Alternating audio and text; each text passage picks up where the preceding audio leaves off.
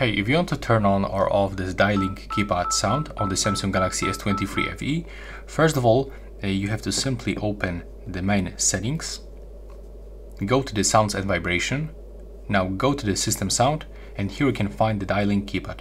Right now when you turn it off or turn it on, as you can hear right now, the setting has changed. So right now please subscribe to my channel and that's all, bye bye.